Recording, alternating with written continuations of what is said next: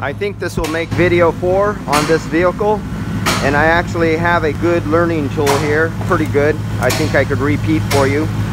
So here's the high side pressure 136 now let's take away this.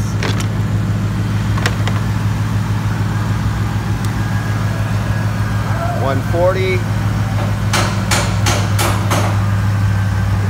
now the variable control compressor is taking over. Oh and the engine idle is going down. So now that my engine idle is going down it's killing my test. Okay but this is a good indicator of to show you the importance of airflow and all these air dams they put here. So we have a filter here I mean not filter. We have a fan here and we have a fan over there. They're pulling. They're pressurizing the engine this will be nearly 200 degree heat.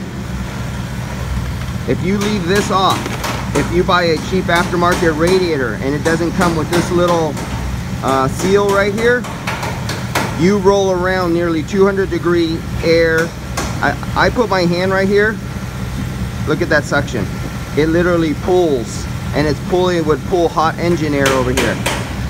On a hot day with a hot engine, because I haven't let this heat up yet, you would have 200 degree air rolling around here.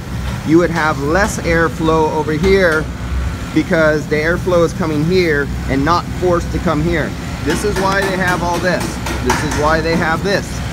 This is why the OEM gives this piece of rubber. If you've seen in my other video of this, I explain why this is important. If you buy an aftermarket condenser, you do not get this.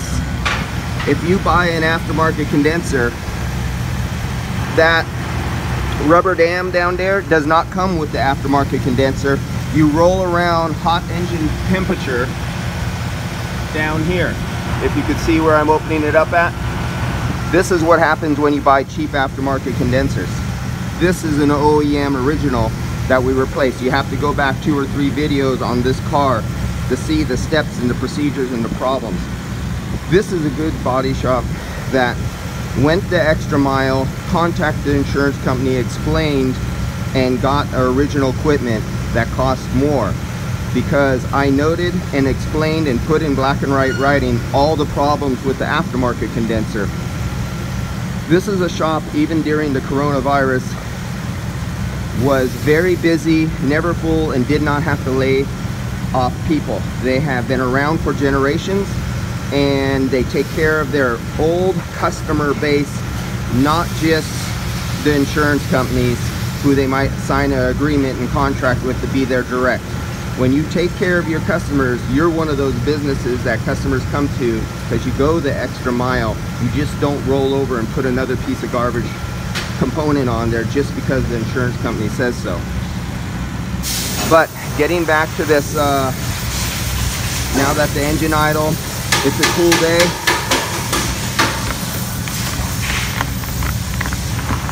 Let me get this out of here.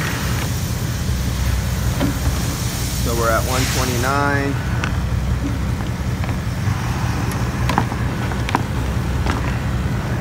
Have to put the phone down.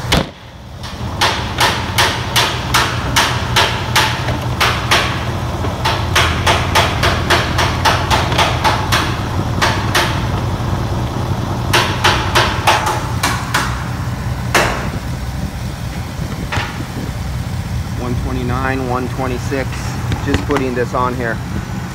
Now if I were to remove this if I were to get a cheap aftermarket radiator that did not have this air seal and left this gap open under here even if I put this in if I had a cheap aftermarket condenser and I'm one of those body shops who don't put these things that they think are unnecessary because they're just rubber pieces and somebody asks especially if somebody asks to save the deductible they leave everything off you can see what the consequences would be.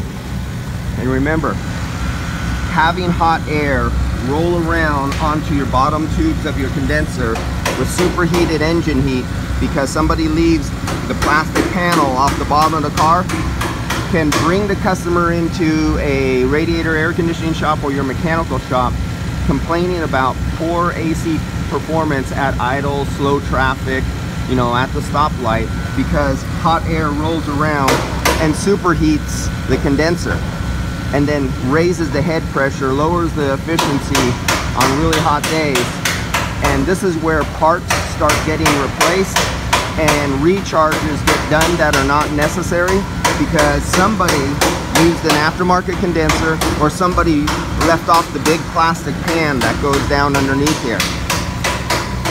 So you have to keep your eye. I see so many of these things come to me trying to figure out what the problem is and they've already had hundreds of dollars of parts replaced just by simple things of airflow missing the little plastic um, air, air stops missing tiny little rubber seals like this you have your fresh air vent intake to your uh, evaporator right here but the body shop did not put on this little rubber seal that seals right here to keep this 200 degree high pressure air. This is a low pressure air point. When you're driving down the stream uh, street and you have your air conditioning on fresh air mode it's supposed to draw air from outside down here. But instead because this is left off the hot engine air goes up here directly and you're feeding almost 200 degree air right into your evaporator then you go to a mechanical shop. He starts replacing parts doing recharges scratching his head what's wrong. And this is another thing i see a lot. The body shops leave this off. And without that seal back there feeding in 140 180 200 degree air right into the evaporator no good. That's it for this uh, little video. Look back if you this is the first video you caught of mine on this vehicle, look back at the problems I had starting from the beginning with an aftermarket condenser.